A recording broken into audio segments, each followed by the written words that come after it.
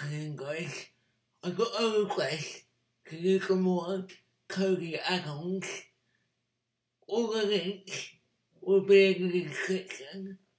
Please like, please subscribe, and turn that notification on. Thank you so much.